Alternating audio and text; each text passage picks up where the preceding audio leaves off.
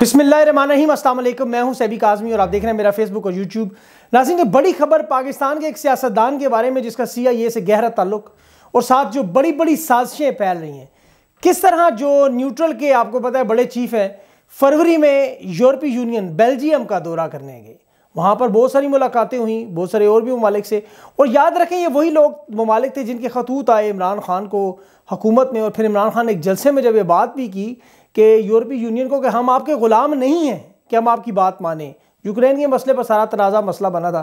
फिर हमजा शहबाज की भी स्टेटमेंट आपको याद होगी, बल्कि बयान दिलवाया गया था।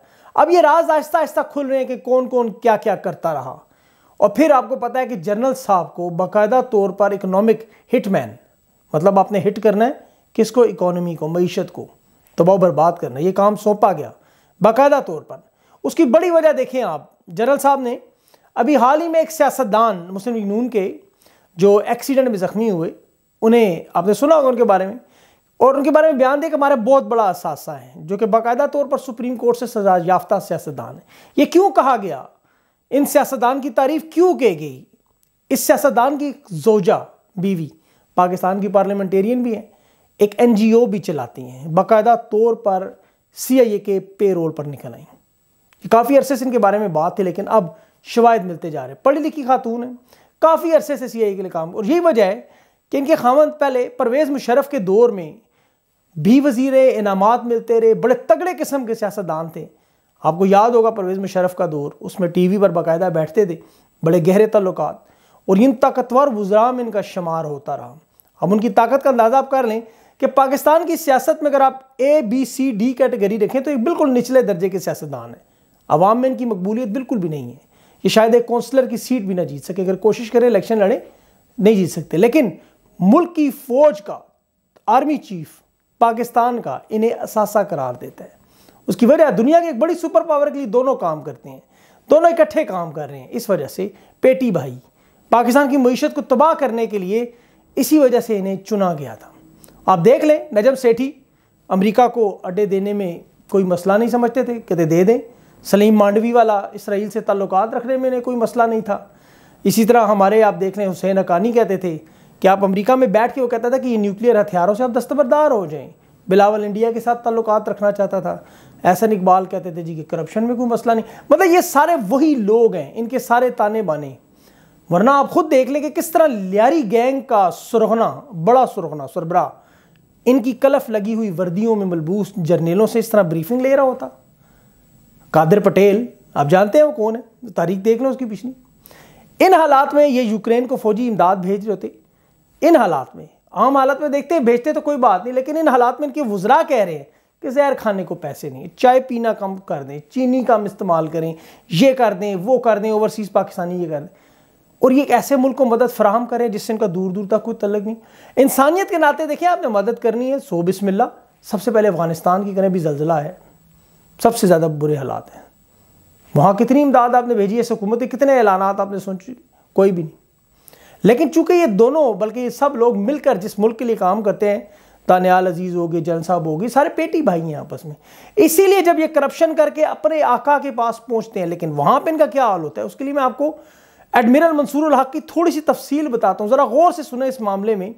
ये एडमिरल मंसूर हक तीन साल तक नेवल चीफ रहा। इस पर तीस मिलियन डॉलर की करप्शन का इल्ज़ाम था। इसे नौकरी से निकाल दिया गया। तहकीकात में ये भाग के टेक्सास चला गया, अमेरिका। मुशरफ साहब ने जब नैब बनाई तो अमेरिका में भी उस वक्त एक कानून बनाया कि एंटी करप्शन का, कि जिसमें कुछ सियासतदान ब्यूरोक्रेट से ताजर भाग कर बाहर से अमेरिका में पना ले तो उसे ना रेफ्यूज मिलती थी, ना रिहायशी सहूलतें मिलती थी। इधर नैब ने ख़त लिख दिया अमेरिका को, चूँकि कानून बना हुआ था, इन्हें उठा के जेल में रख। वहाँ आम कैदियों की तरह एक छोटा सा बैरक एक छोटा सा टॉयलेट वहाँ होता है, आपको पता है, हथकड़ी लगी होती है, वो इस कपड़े पहने होते हैं हलाल खाना मिलता है, लेकिन आपको पता है जेल जेल है। इन्होंने जज को लिख दिया, जी, मुझे खुदारा पाकिस्तान भिजवा दे, मैं पाकिस्तानी, मैं वहाँ सज़ा काट ले दूँ। बस जी, पाकिस्तान भिजवा दिया। पाकिस्तानी हदूद में इनका जहाज़ दाखिल नहीं हुआ, इनकी हथकड़ी खुल गई वी आई पी लाउंज से इनके लिए बाहर खड़ी खड़ी थी और गाड़ी खड़ी थी और एफ़ आई ए और नैब के अफसर सलूट मार रहे थे। सिहाला में इनके लिए एक छोटी सी सब जेल, खानसामा, घर से खाने, मुलाकातें, मीटिंगें, फिर प्री बार्गेन हुई। पच्चीस फ़ीसद इन्होंने दे दिया। पचहत्तर फ़ीसद जेब में डाला। चौदह प्लॉट्स लेके ये जनाब पूरी लाइफ जो आगे सबक नेवल चीफ का प्रोटोकॉल भी लेते रहे, अपनी ज़िंदगी भी बेहतरीन गुजारते रहे और ये निकल गए वहाँ से। बाद में खैर इनकी कसम पुरसी में ही मौत हुई है। बिल्कुल लेबनान में भी यही मामला हो रहा था। वहाँ हाल देख लें आप क्या अब सबक सीख जाएँ, ये लेबनान किसी ज़माने में बैरूत को आपको पता है रोशनियों का शहर कहते थे। ये पेरिस का मतलब इसको जिस तरह मिडल ईस्ट का पेरिस कहते थे इस वक्त। करेंसी की तबाह बर्बाद हो चुकी है, हर चीज़ की किल्लत है। महँगाई इस वक्त ट्रिपल डिजिट डिजिट हिस्सों में पहुँच चुकी है, तीन हिस्सों में।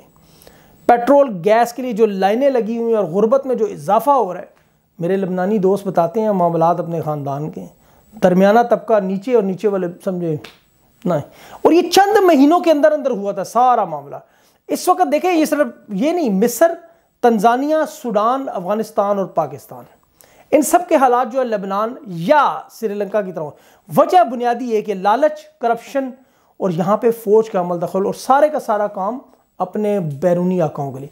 करप्ट सियासतदान बैरूनी कर्जे लेकर इस जाल में फंसाते हैं लेबनान को, जिस तरह उन्होंने फंसाया कि बत्तीस साल तक फिर वहाँ सिविल खाना जंगी लगी रही। सिविल खाना जंगी बत्तीस साल लगी रही अनरेस्ट होती रही, सिर्फ़ इस वजह से। मीशत तबाह थी। इसराइल के इर्द गिर्द आप बाकी ममालिक देख लें, लेबनान उनके हालात देख लें। श्रीलंका में भी यही हुआ। वहाँ पर भी पॉलिटिकल अनरेस्ट और सिविल देख लें अनरेस्ट यहाँ पे पाकिस्तान में भी यही यही जाल बुना जा रहा है, जो दिन ब दिन बड़ा होता जा रहा है।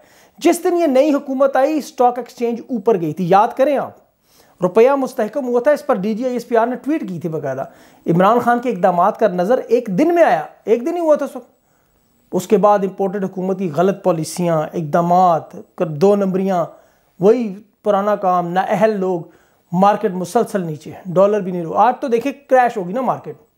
2000 या 2500 से पॉइंट से नीचे गिर चुकी है। कारोबार मुअत्तल करने पड़े, नौ बजे ज़बरदस्ती दुकानें बंद करवा रहे हैं। इस पर अब आई एस पी आर को प्रेस कॉन्फ्रेंस करनी चाहिए, बताना चाहिए कि ये मामला हमारे कंट्रोल से बाहर हो चुके हैं। हमने ऐसा वो गड़ा इनके लिए खोदा था अब सारे उसमें गिर चुके हैं। शहबाज शरीफ साहब ने गरीबों को देखे, गरीबों को, गरीब, रिलीफ ले रहे किस तरह? अमरीकों से अमरीक अमीरों से कह रहे हैं मैं टैक्स ले रहा हूँ।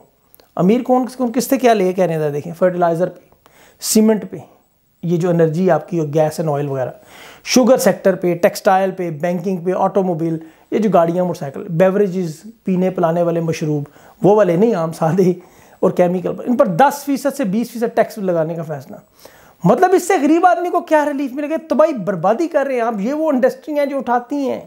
ये सारी लिंक्ड है, ये चेन है, आप तोड़ रहे हैं चेन सारी। और गरीबों की कौन सी फैक्ट्रियाँ हैं? गरीबों को उससे कोई फ़र्क नहीं पड़ेगा। आप क्या करना क्या चाह रहे हैं? आप यकीन करें, मैं, मुझे तो ये समझ नहीं आ रही, मैं इनकी पॉलिसी देखता हूँ, इसकी इकोनॉमिक्स की। तो हम तो मतलब देखें, इन लोगों ने जिसे पसंद किया मतलब उन्होंने उठा के वो ले आए ऐसे ऐसे लोग। सिर्फ़ और सिर्फ़ इमरान खान को कमज़ोर। लेकिन इमरान खान देखे कितने मज़बूत और कामयाब है इस बात के लिए। एक ही छोटी सी मैं आपको दलील देता हूँ। अभी जो ज़मनी इंतबात हो रहे हैं इनके बीच वहाँ इनका मुकाबला पीपल्स पार्टी नून लीग की सोलह जमातें, वफाकी हुकूमत, सूबाई हुकूमत establishment Lahore high court, election commission और इसके अलावा जो इन्होंने बीच में रखे हुए अपने नामालूम लोग, अब तारीख गोवा है देखें कि तीस ममालिक में रजीम चेंज जो है वो छः महीने से ज़्यादा नहीं चली। आठ अप्रैल से आप छः महीने तारीख लिख कर रख लेंगे, आप देखेंगे सब कुछ कैसे बदलता है। क्योंकि नवंबर में सारी गेम बदलने वाली है। सारी गेम आप देखेंगे नवंबर में किस तरह बदलती है। अब आखिर में एक छोटी सी एक बात स्टैनफोर्ड यूनिवर्सिटी के हवाले से मैं करना चाहता जो एहसास प्रोग्राम सानिया नश्तर की ट्वीट के बाद मामला हुआ जी, वो बहुत सारे कुछ आपको पता है कि जो जियाले हैं, उन्होंने शुरू कर दिया कि कुछ बेनज़ीर प्रोग्राम की, फिर फिर उन्होंने कहा ये स्टैनफर्ड में जो बंदे बैठे हैं, वो पता नहीं इमरान खान के देखें, ये सर माइकल हार्बर नाम, बारबर बारबर वो बाल काटने वाला बारबर समझ लें आप, बाबर ना समझिएगा। और मज़े की बात ये ये शहबाज शरीफ साहब जब वजी पंजाब थे, उनके साथ एडवाइज़र रह चुके हैं। और इन्होंने पावर्टी एलिवेशन पर मतलब गुरबत ख़त्म करने पर, इस प्रोग्राम की बेहतरीन इम्प्लीमेंटेशन पर, अच्छे अंदाज में चलाने पर और पाकिस्तान दुनिया में इस पर बात की तो उन्हें तहरीक इंसाफ की हमायत याफ्ता देखने, लोगों ने कहा जी, ये तहरीक इंसाफ के पेड़ है, पता नहीं यूनिवर्सिटी की आप पूरी रिपोर्ट देखें तो ये पहले तो देखें, इनका कोई सियासी तलक नहीं है, ना कोई इस तरह की बात है, लेकिन सबसे जो बड़ी चीज़ है कि ये जो बड़ी यूनिवर्सिटियाँ होती हैं, वहाँ पर इस तरह की पाकिस्तान की तरह दो नंबरियाँ नहीं हो सकती हैं। दो नंबरी करके आप रिपोर्ट छाप लें, वहाँ क्वालिटेटिव क्वांटिटेटिव रिसर्च होती है। वो अब लंबी बात हो जाएगी, लेकिन ये इस तरह की दो नंबरी हो नहीं सकती जिस तरह की वहाँ ये आप सोचते हैं कि हम पंजाब यूनिवर्सिटी में कर लेंगे। अभी देखिए अच्छी बात की तारीफ़ करेंगे चीन ने कहा साठ अरब डॉलर पाकिस्तान में लगाए बहुत अच्छी बात है। क्योंकि देखिए, चीन किसी फ़र्द वायद के साथ नहीं, एक मुल्क के साथ दोस्ती करता है। उनकी दोस्ती पाकिस्तान से है। दिवालिया पाकिस्तान उनके मुफाद में नहीं है। ये जो शबाशी साहब रोशन अकाउंट और चीन से मिलने वाले दो अरब खुशियाँ मना रहे हैं ना देखें इसमें एक तो बड़ी ईद आ रही है, सब लोग कुर्बानी के लिए पैसे भेज रहे हैं इंक्लूडिंग हम सब के क्योंकि हमारे बाहर बैरूनी दुनिया में क्या कुर्बानी होती है? ओवरसीज़ पाकिस्तानी जो हैं, और दूसरा, रुपया इतना बुरी तरह गिर चुका है कि ये पैसे ज़्यादा लग रहे हैं अक्सर और बेशतर आप देखें ना ओवरसीज़ पाकिस्तानी में बताते हैं कि जब हम भेजते हैं तो घर वाले पूछते हैं पैसे ज़्यादा भेज दिए आपने? हालाँकि कहते हैं, हम तो उतने ही भेज रहे हैं। लेकिन चूँकि रुपया गिर चुका है बहुत, और ये रुपये से ज़्यादा गिर चुके हैं। अपना ख़ास ख्याल रखें मुझे अगली वीडियो तक के लिए इजाज़ दें। अल्लाह हाफिज़।